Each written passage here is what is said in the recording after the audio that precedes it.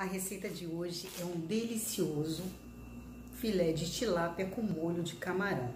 E de brinde eu tô dando uma receita aqui de um purê de batata com brócolis e pimenta dedo de moço que ficou show de bola. Vamos lá para o preparo? Bem, pessoal, eu botei uma panelinha aqui, né? Vou me virar nos 30, né? Para dar uma altura para vocês visualizarem melhor. Aqui eu tenho dois filés de tilápia, tá? Vou mostrar para vocês, tá vendo? Lindo, super fresquinho. O que eu vou fazer agora é dar uma acertada e vou aproveitar como ele já tá cortado ao meio, né? Que foi tirado a espinha. E aí eu vou mostrar por que que eu vou cortar esse filé ao meio, tá, gente? Porque tem um lado mais grosso e um lado mais fino, tá vendo? Simples assim. Agora eu vou fazer um acabamento aqui, tá vendo? Essa sobrinha você pode utilizar para outras receitas, fiquem super à vontade. Eu já tenho uma em mente, tá? Eu vou tirar essas sobrinhas e vou congelar, tá? Vocês também podem utilizar essa sobrinha para fazer um caldo delicioso de peixe, um pirão, que forem fazer, dependendo da quantidade de tilápias que vocês forem utilizar, tá vendo? Olha que beleza, tem essa parinha. Às vezes tem um pouquinho de espinha, mas nesse por acaso não tem, tá? É só passar a faca aqui, ó, bem sutilmente, uma faca amolada, tá vendo? Olha que fácil de fazer. Essa pontinha, como tá muito fina, eu também vou botar para rolo, né? Olha que delícia, gente. Vou fazer o mesmo processo com outro filé de tilápia e vou dar uma acelerada nesse vídeo, né, gente?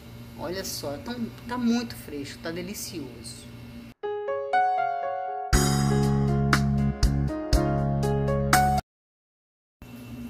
Bem, pessoal, como eu gosto de manter o sabor dos alimentos, seja ele frango, carne ou peixe, né?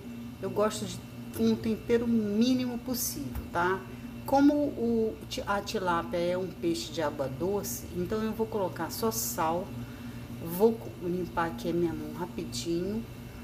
Vou utilizar pimenta branca, tá? Mas fiquem super à vontade de usar a pimenta do reino preta, tá?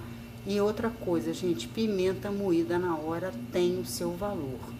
Outro diferencial nesse peixe, por acaso, tá?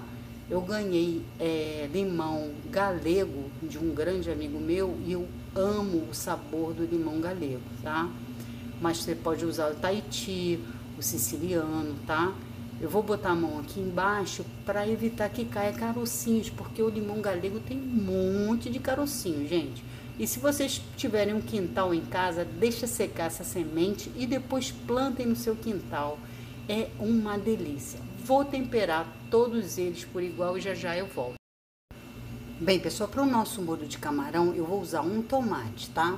Aí, olha que lindo tomate, bem vermelhinho. Quanto mais vermelho, melhor ainda. Vou fazer um corte bem sutil na pele, em X, tá bom? Peguei essa panelinha para vocês verem que a água já está fervendo. Vou colocar no fogo e meio minuto, meio minuto de cada lado, tá? Já já eu volto. Também tenho aqui meia cebola e uma pimenta dedo de moça pequena. Ó, já piquei, nem utilizei toda a cebola, tá vendo? Foi um quarto de cebola pequena. Agora eu quero mostrar para vocês o tomate, tá? Foi mais ou menos meio minuto de cada lado. Olha como é que a pele solta com facilidade, gente. É maravilhoso, tá? É só soltar essa semente, essas semente não, gente, desculpa a pele. Vou cortar esse tomate, retirar toda a semente e vou utilizar só o, a polpa, ok? Bem, agora eu já tenho uma frigideira quente aqui que eu vou colocar uma colher de sobremesa. Sobremesa não, né, gente? De chá de manteiga, porque são dois filés de tilápia, não precisa de muita manteiga, tá? Eu tô usando manteiga, manteiga mesmo. E um fiozinho de azeite, porque a manteiga ela não aguenta temperaturas altas, tá? E a mistura dos dois dá um sabor maravilhoso, gente. Vocês não têm noção. Vou colocar também 14 camarões já de tamanho médio, tá? Para cada filé de tilápia, né? eu vou usar sete camarões. Então são 14, que são dois filés. A ideia agora é dar uma temperada, que ele está totalmente sem tempero. Tô colocando pimenta do reino branca. Vou colocar um dentinho de alho, tá? Pouquíssima coisa. E sal, somente isso. Agora eu vou misturar né? Vou dar uma meio que não é dourada, vou dar uma branqueada nesse alho, que eu não quero que esse alho fique com sabor muito intenso. E vou ir controlando o cozimento do camarão, porque a gente não pode passar do ponto, né, gente? Camarão borrachudo ninguém merece. Tá vendo? Já tá começando a ficar rosinha.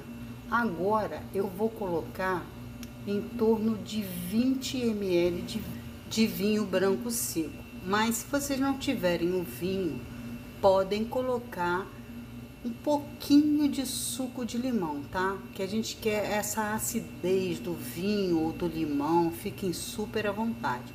É que eu sou metida mesmo, eu gosto de vinho. E se eu compro vinho para utilizar nas receitas, eu coloco, tá bom? Fiquem super à vontade. Agora eu vou deixar esse camarão ficar rosadinho e vou retirar, tá vendo? ele tá meio cru, tá vendo? Meio mal passado, né? É a hora de você retirar esse camarão, porque depois que você colocar o molho de tomate propriamente dito, ele vai terminar de cozinhar, ok?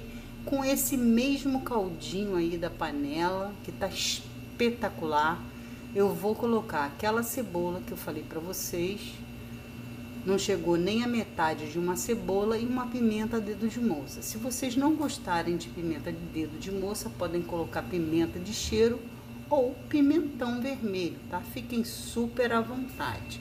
É só uma sugestão. Olha a coloração, gente, que delícia. Agora a gente coloca aquele tomate sem pele, sem semente, né? Tá bem bonito não vai ficar com aqueles fiapinhos que muita gente não gosta. É só você deixar aí uns dois, três minutinhos para ele apurar bastante, né? Para terminar de cozinhar, para colocarmos o restante dos ingredientes. Bem, agora eu vou colocar também uma colherinha de chá bem rasa de páprica defumada. Vocês podem colocar coloral, o que vocês quiserem, tá? E 50 ml de água, tá? Agora vamos misturar essa belezura. Olha a corzinha que tá, gente, muito linda, né? O tomate já cozinhou perfeitamente.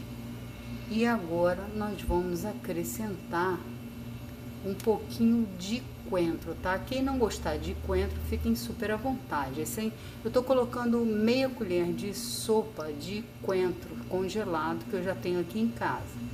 Mas aí vocês coloquem o tempero que vocês quiserem, ok? Agora vamos colocar o camarão, tá? Pré-cozido, tá vendo? Parece pouquinho, né? Mas na hora que você for fazer a apresentação de dois filés de tilápia, Sete camarões por prato tá fantástico, gente, porque o prato principal é a tilápia, ok? Bem, como eu falei que ia dar um brinde aí, eu botei aqui, vou fazer um purê bem gostoso, tá? Tô colocando uma colher de sopa de manteiga ou margarina, fiquem super à vontade. Nesse processo vocês podem colocar o que quiser, tá? Uma xícara de 240 ml de leite. Vou colocar também uma pitadinha de noz moscada. Como eu falo para vocês, tudo que é moído na hora tem o seu valor, tá? Procurem comprar os grãos e comprar o moedor. O moedor às vezes é caro, mas vale muito a pena, gente, porque às vezes a gente compra aquele tempero em pó e mofa, né? E aqui eu tenho sete floretinhos de brócolis que eu cozinhei no vapor, tá? Dei uma mega processada, assim, mega rápido, tá vendo? Olha como é que tá, não tá assim desmanchando, virou uma farinha. Vou colocar agora duas batatas inglesas de tamanho médio, de médio para grande, tá? Vou colocar aqui. Esse purê, gente, acabou no mesmo dia, tá?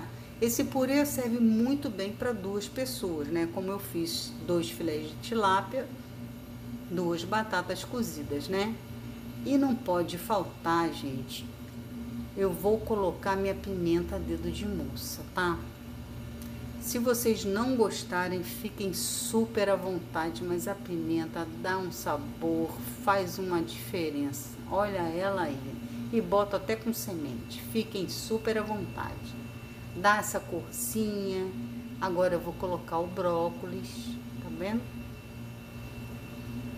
Gente, fica muito saudável, é uma, é uma refeição muito legal, porque você tem o verde, o branco da batata, o branco também do peixe, mas tem a proteína, tem o carboidrato, né? Vale muito a pena. Agora eu vou homogeneizar. E agora, gente, é a hora de finalizar o nosso prato, né? Uma colher pequena de manteiga e um fio de azeite. Agora, a princípio, eu vou usar só um filé de tilápia. Então, vou mostrar para vocês. Lembra que eu falei que tem um filé que é mais grosso que o outro? Então, nós vamos colocar na frigideira o mais grosso, tá? Vamos deixar ele fritando aí. E ó, detalhe, mega rápido, tá, gente? Não pode esquecer para ele não ficar seco. Vou deixar meio minuto Aí quando eu for virar esse filé, eu vou colocar o mais fino, ok? Peço desculpa às pessoas que gostam de vídeo longo, mas eu vou fazer no tempo real para vocês perceberem o tempo de cozimento, tá vendo? Vocês não podem manusear demais o peixe porque ele quebra, tá? Vocês têm que tomar cuidado com a coloração dele. Embaixo ele começa a ficar branquinho e aí aquele branquinho vai subindo quando chegar um pouquinho no meio, é a hora de virar o filé, ok? Tem muita gente que deixa passar e fica borrachudo. Ó, vou virar. Olha a coloração que ficou. Agora é a hora de eu pegar aquela parte do filé mais fino, tá vendo? Que aí você vai fazer o cozimento igualmente. Então todos os dois vão ficar mega suculentos, tá bom? Eu poderia ter colocado na frigideira os dois grossinhos e depois os dois fininhos. Mas como eu vou servir agora para o meu marido e quero mostrar para vocês essa diferença de cozimento, tá vendo? Eu prefiro fazer assim. Espero muito que vocês gostem dessa receita, que tomem esse cuidado, que vocês vão ver que o sabor é totalmente diferente, gente. Agora é só deixar mais meio minuto os dois juntinhos que vai ficar super pronto. O filé vai ficar suculento, delicioso.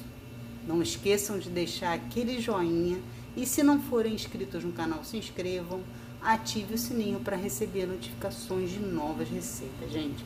E tomem cuidado, porque comida feita com amor tem o seu valor. Já já eu vou retirar esses filés e vou finalizar para vocês essa delícia, gente. Beijo. Bem, como eu falei para vocês, com muito cuidado agora você coloca no prato. Você tá vendo que ele tá suculento e não quebrou, né? Quando quebra, porque ele tá mega passado.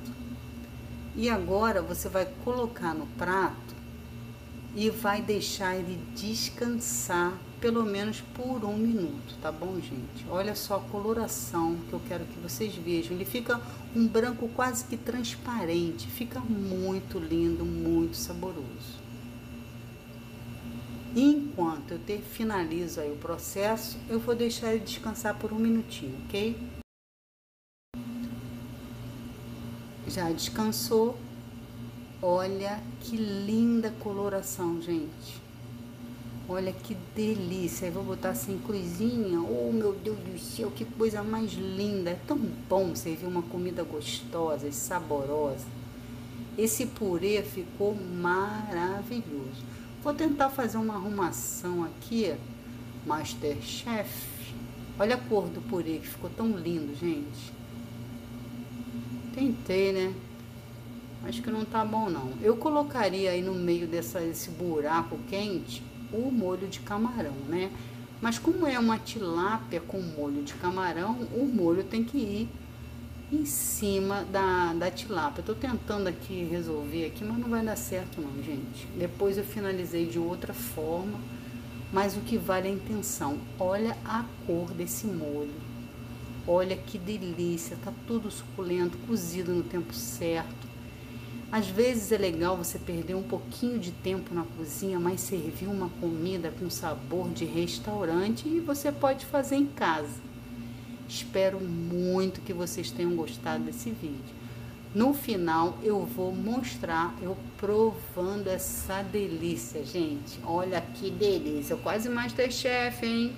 Bem, pessoal, olha só como é que ficou bonito, tá vendo? Quero mostrar aqui, eu botei propositalmente esse filé de tilápia mais grosso para vocês verem como fica pronto super, super rápido, tá?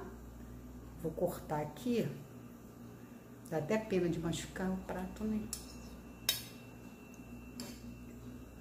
Olha a coloração. Você vê esse brilho, quer dizer que ele tá suculento e cozido no ponto, gente. Espero muito que vocês gostem e façam essa receita. Não percam o ponto do peixe, porque vale muito a pena você comer aquele peixe mega saboroso e suculento. Um beijo no coração de todos vocês e muito obrigada por mais um vídeo. Tchau, pessoal. Show!